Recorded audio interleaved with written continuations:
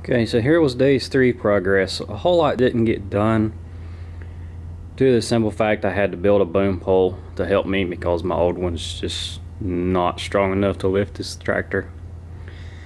Plus I had to go buy some new jack stands. The ones I got back there under the rear axle, they're actually a 12 ton stand. And the reason they're a 12 ton stand is just simply because of the height. That stand right there next to it is actually a six ton stand. It will not extend high enough to reach that axle. And to be honest, the 12 ton won't either. When I took those wheels off, which I didn't film just because it's kind of sketchy and I don't want you to do it the way that I did because I don't want to be responsible for anybody getting hurt. The best way is just to barely lift the weight off of them and slide them off you know, keep the tire on the ground because they will come off.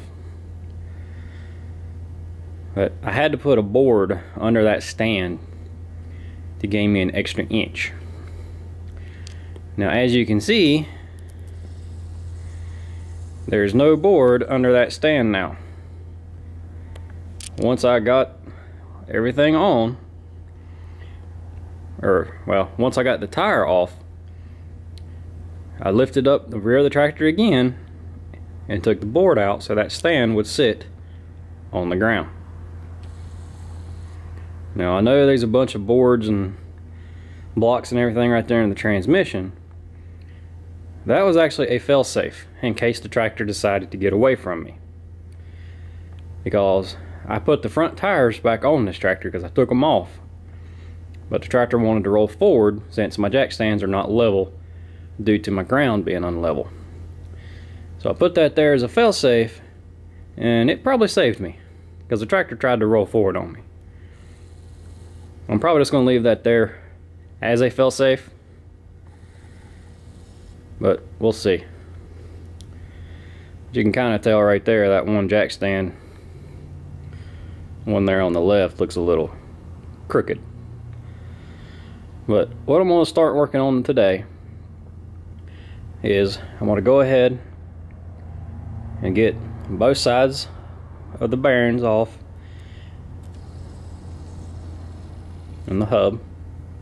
And I'm only going to film one side because they're the same on both sides. And then we'll pull the spindle out of the knee. Well, that's what our end game is. We have to take the steering links off and the steering arm and then pull the spindle out of the knee. Now the knee I'm going to leave for the time being because that's where the jack stand is. Now once I get ready to pull the engine, I'm going to rely probably on that and I will remove the jack stands at that point take that off take that guy off pull all this framework off and pull the engine and all that's going to be done in very rapid succession to try to keep as much weight from hanging off the front of this tractor as possible. Okay, the first thing to do to get this hub assembly off is we're going to take the dust cap off. Now note, this one has a grease fitting on it. These tractors never had a grease fitting in the dust cap. Somebody added this to keep pumping grease in here. So, first thing we're going to do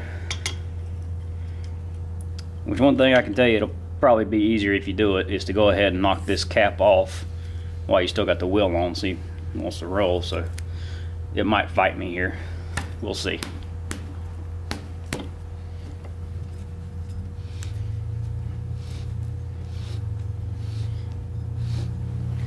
Okay, it comes off. See, I don't know if you can pick that up on camera. But that bearing don't sound too good.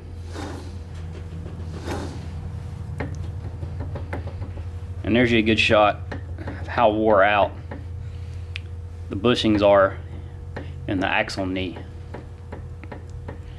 Wheel bearings themselves aren't moving. That's actually in our spindle. And one thing I didn't do whenever I got down here was grab me a rag. Because even without the grease fitting, these things are going to be covered in grease. So be prepared for that. Now, I'm actually going to replace this bearing cap. Dennis Carpenter actually reproduces them, made out of cast steel. Just like these originals, they're pretty nice. And they're cheap. I mean, you could probably take and weld it up and grind it smooth it, but I just replaced it. Or will be replacing it. Well, the first thing you're going to run into is a cotter pin. So, it's bend your cotter pin.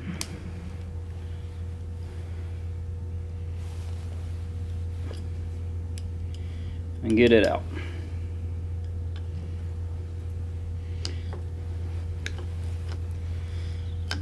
Like I say, with all cotter pins, just replace them. They're cheap. You ain't got to worry about failures, so just replace them. But go ahead and take this nut off. And right now there's no need to get this nut overly clean, and I'll show you why here in a second. Now, in here,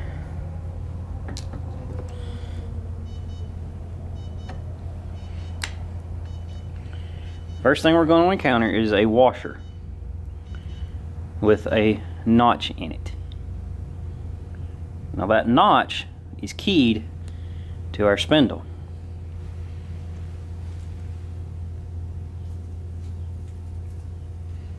And don't forget the washer when you put it back. So next thing is what they call the outer bearing. This little guy right here. This is actually a Timken bearing right here. So like I say, I like Timken bearings. They're made in the USA. Good quality bearing. However, you can clean these, repack them, but I am not. For the simple fact you can get this bearing set for you know about ten dollars. I think I got both sides for right at twenty something. You know, it's with tax and everything, so storing a tractor, replace it.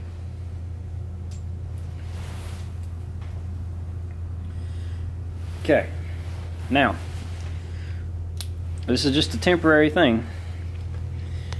But as you can see, there's another bearing in here called the inner bearing. Right there.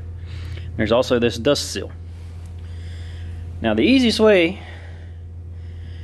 to get this guy off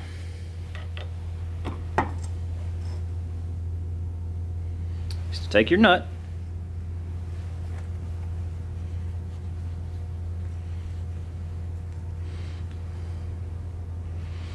thread it back onto your spindle.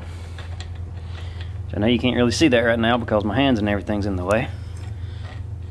But there we go. We're going to thread that on there. Now, you're going to pull it to where it catches.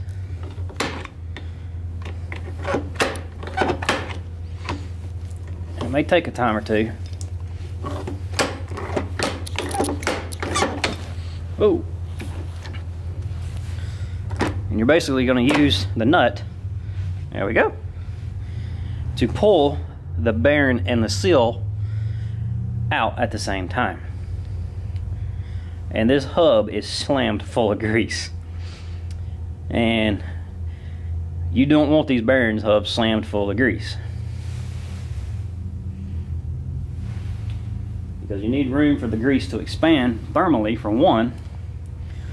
Second it's just wasteful and messy.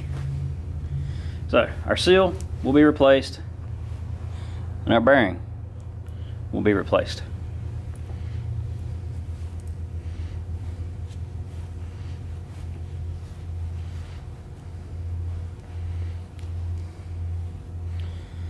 Probably the hardest part of this whole job is jacking the tractor up. Second hardest part is dealing with all the grease because it is a bunch especially whenever you have one like this that somebody has just pumped full and full and full of grease. And there's there's no need for that. There's look at all the grease in there. That's way too much grease. That's all there is to it to get the bearings off. And then whenever time comes to put it back together, I'll have the video of packing the bearings and reassembling it. My next step is going to be getting this tie rod out. And once this guy's off, we'll go ahead and take this steering arm off, which is this bolt right here. It's just another pinch bolt. Once that bolt's out, should be able to pull up this arm, take the keyway out, and then our sp actual spindle will come out of the knee. And it's probably covered in grease as well because these actually have grease fittings on them from Ford. And they should be periodically greased you know. So first things first our favorite friend the cotter pin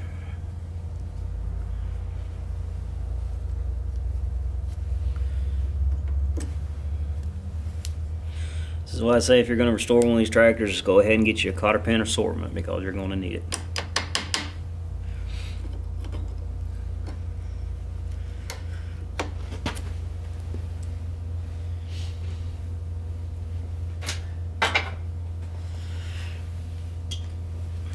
Normally I'd be using a socket on this, but I don't have them out here right now, so I got an adjustable, so that's what we're going to use. Well, that's what I was hoping to use. However, as you can see, the lower part of my joint is spinning.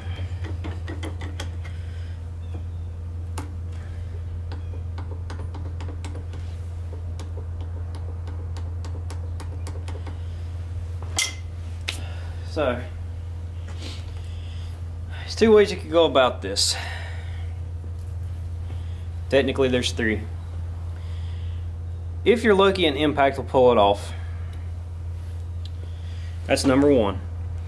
The second is to put pressure up on this to ram the joint up into your arm to put some friction pressure on it to help get it off.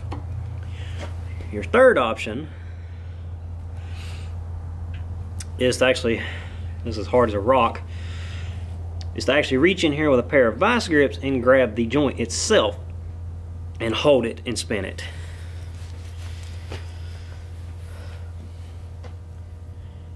In my current situation, with my limited tool availability down here, I'm going to try the jack first. If you have access to an impact, do it first. Try to put a little bit of upward pressure on it.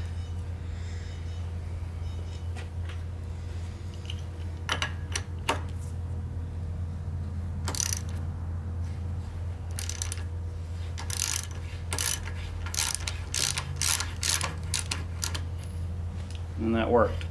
That's all it took. And as you see, my jack stand is still on, or it still has the weight of the tractor and there's our nut. I'm not sure why there's a washer here. I'm pretty sure that should not be there. They more than likely did it to clear this joint. But that kind of makes me wonder, is this joint been replaced or not?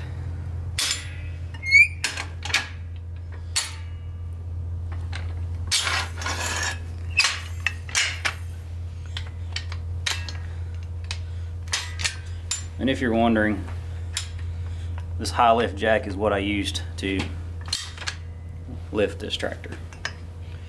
Regular floor jack won't go high enough. There's a chance that as loose as that was, I will not have to use a pickle fork on this. I'll use the uh, crescent hammer. It just fell right out. Okay, so now our spindle is completely loose. A lot of up and down play, which when tractor's on the ground, that's not really going to hurt you much. So this side doesn't really show it too bad. But there's a lot of, I guess you call it lateral play you want to call it that, of the spindle actually moving in the knee. There's a bushing here and a bushing here. The 8N, these two are the same bushing. On probably your 53 up to at least the 64s, these are different. Both are available. The 65 is probably a different bushing. but I'm not sure because I haven't messed with one of them. Okay, let's see how stubborn this guy's gonna be.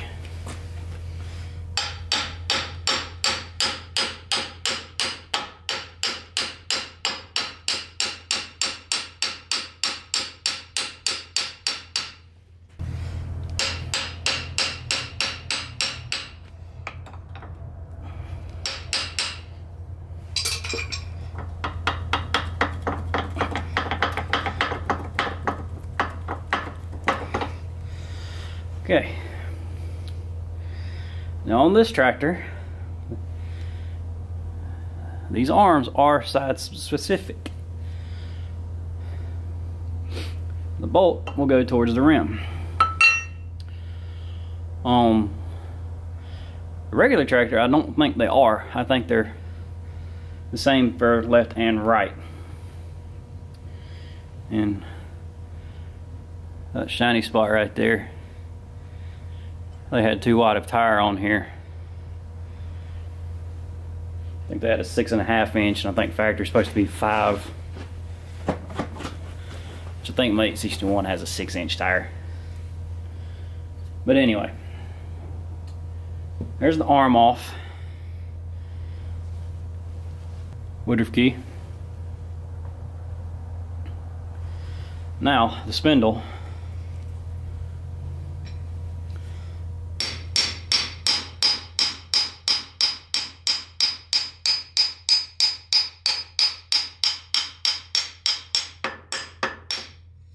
come out.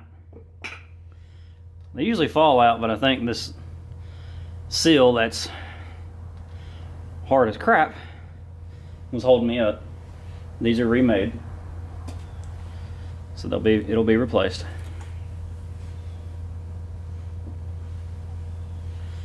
And there's our spindle.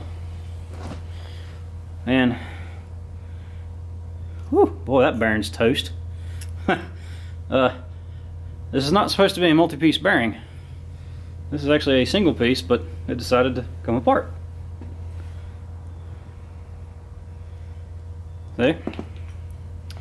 That should not happen.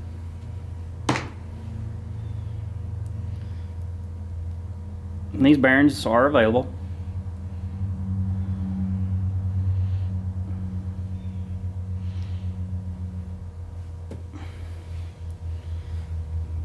Now that's ready to be cleaned and sandblasted.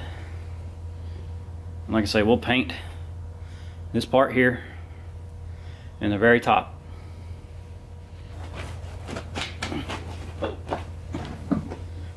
Now this joint, it felt tight.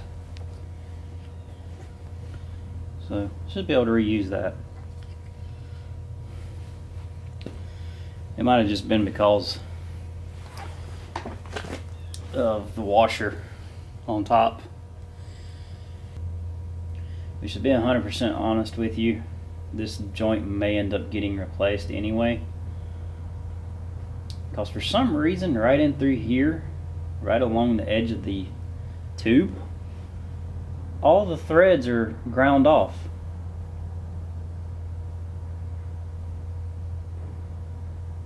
Last thing I want to do is be driving the tractor and the tie rod fall apart on me. So I'm not sure what the heck's going on there.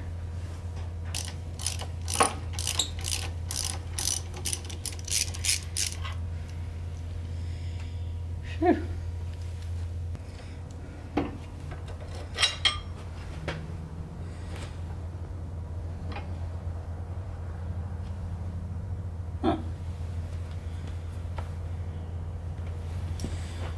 Why is that, I wonder? Okay, I think I may have just found why there was a washer on my knuckle.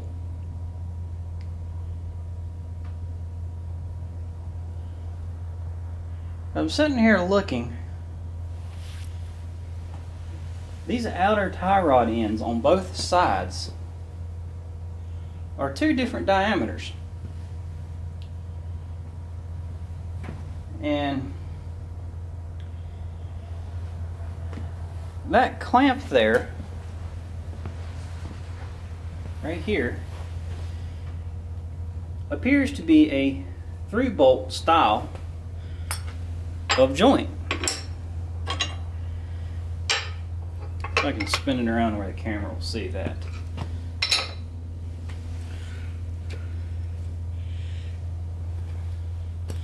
No, I can't get the camera to see it at its current angle. But there's a groove cut here that the bolt would actually go into lock this guy in place.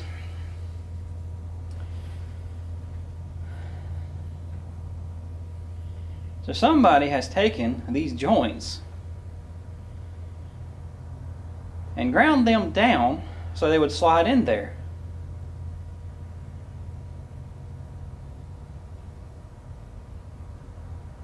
So these joints are not the right joints to this tractor. And I'm not 100% sure I can even get those joints. Or for that matter, how to even get this guy out of here. It might be something where I have to take the rod, the entire rod, and set it on a workbench or a press or something on this little lip here and get me a long ramrod and try knocking that thing out. So I guess for the time being, instead of disassembling this thing, I'm just going to loosen it up here and spin this whole assembly off because I know that this is wanting to turn up there already. It's actually that joint right there just spun on me. See it? Which I mean, they do work, but that's just kind of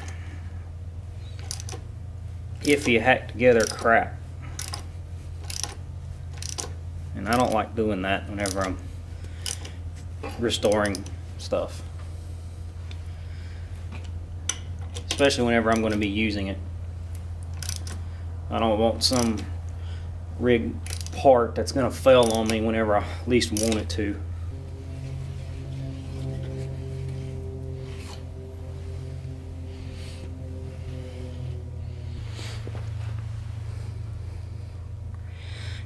You can kind of see that notch.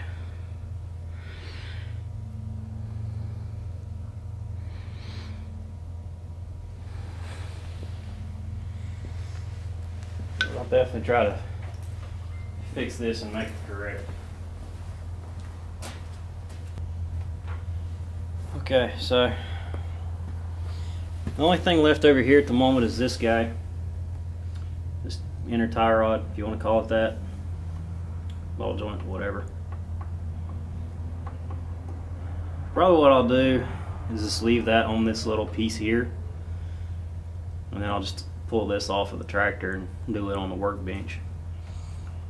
But it's basically like I've done on the other ones. You know, take cotter pin, the nut, and then just lock it with a pickle fork.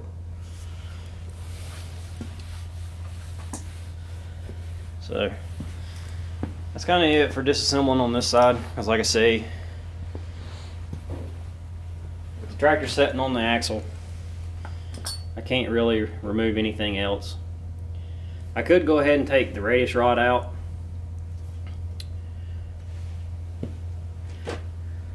Which I might end up moving the jack stands before I do that anyway. Just because this will help stabilize this axle. Since that's holding the tractor, probably best just to leave it there as long as I can. So probably my next thing is going to be to tear the other side apart and then come in here and get this guy off which is probably going to entail maybe unbolting something down there, or maybe taking the big nut off up top here that holds the actual steering gear. But for now, I'm gonna go ahead and work on the other side. Do what I did on over here, over there.